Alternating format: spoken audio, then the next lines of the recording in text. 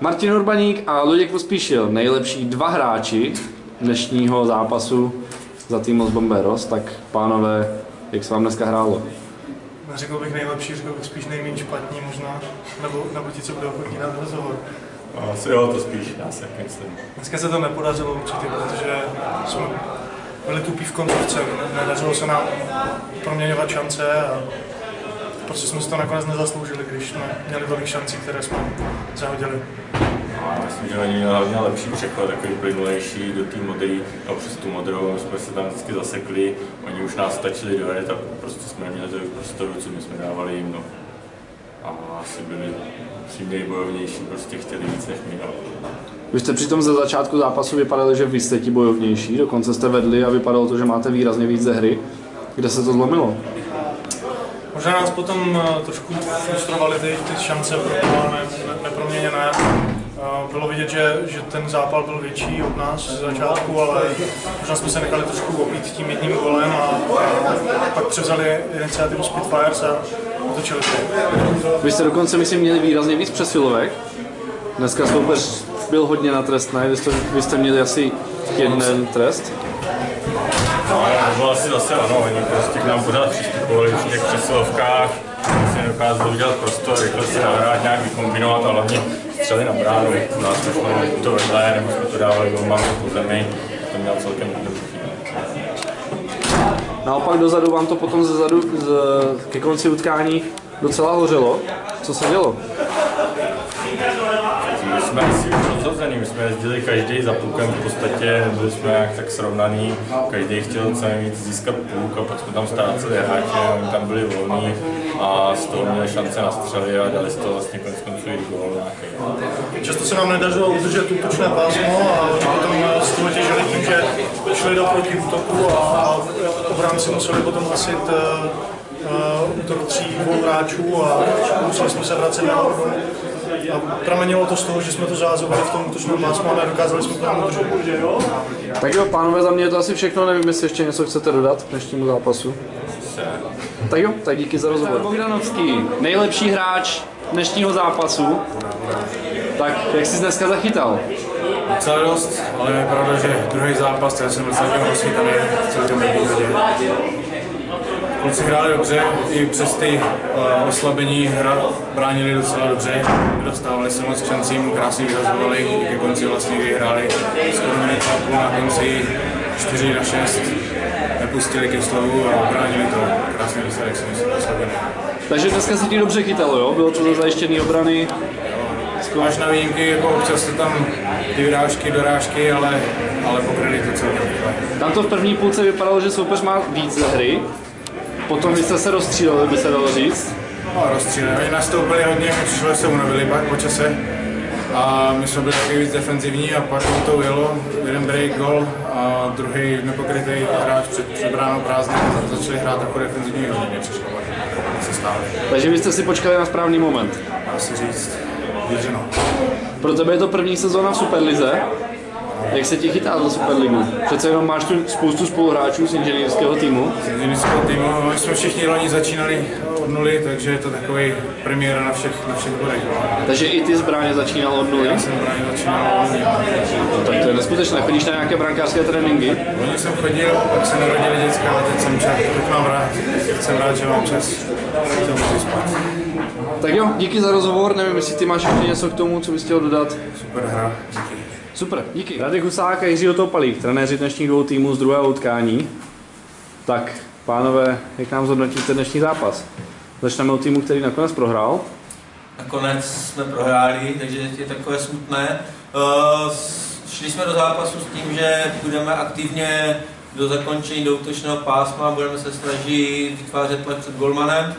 Uh, a to se nám ještě dá se říct, dařilo, ale bohužel bohužel tam nevycházely, uh, nevycházely nám tam, uh, nevycházely nám tam nějaké akce a díky tomu to prostě dopadlo, jak to dopadlo.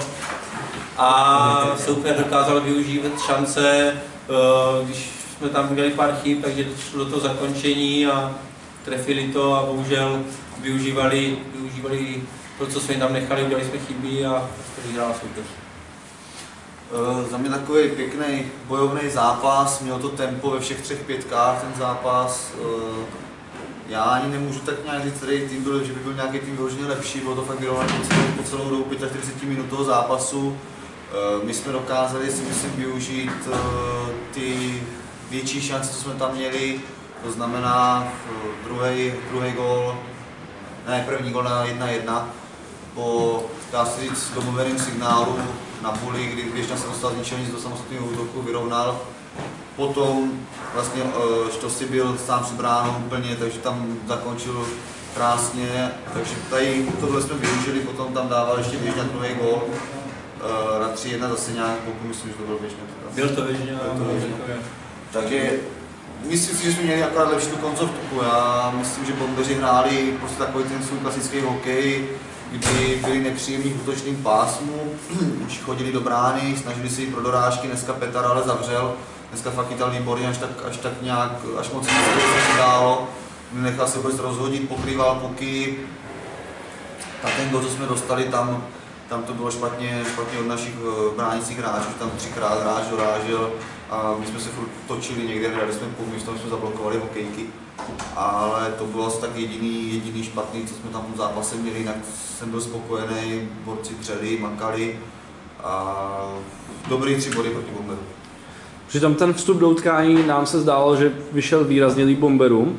Dokonce vedli a vypadalo to, že budou mít výrazně víc ze hry. Co se tam teda zlomilo? No, zlomilo to, že jsme nedokázali dát góla a kluci se snažili víc a víc jako jít do útoku a zapomínali trošičku na bránění a z toho vlastně uh, padl spíš až ten třetí gól, takový, že až to už bylo takové, že jsme všichni se snažili útočit a jít do toho zakončení a prostě ne, neumíme dávat góly na druhé a třetí lajně. První lajna dá, dá se říct, byla taková spíš defenzivní, že se snažili to uhrát na 0-0 a občas jako dokázali vystrčit rušky, udělat tam nějaký si tlak, ale eh, druhá třetí lajna měla, eh, bych řekl, větší trošku převahu.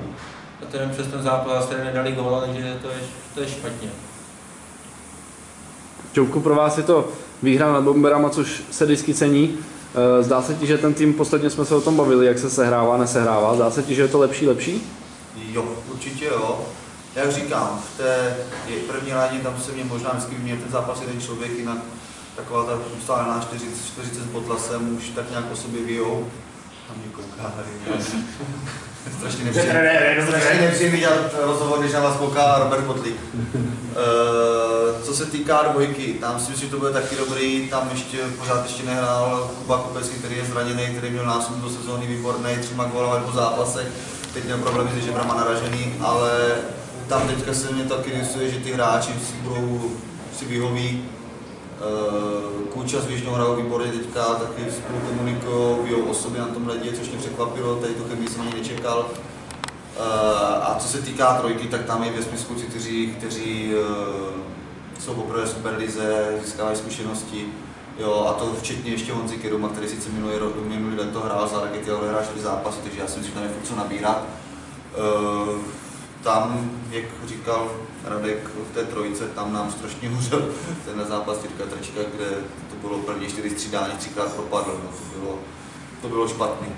To takhle můžu, to takhle můžu říct, ale, ale nakonec tak Lena nedostala gol, takže, takže tak.